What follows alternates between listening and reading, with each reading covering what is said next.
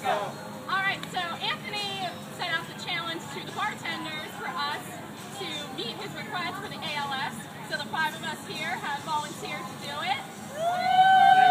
So Anthony, get your check out. You gotta write that now. But we decided to keep it in the SanTan family a little bit more, and we're gonna call out Chip, Meg, and Corbs. See if you can do that.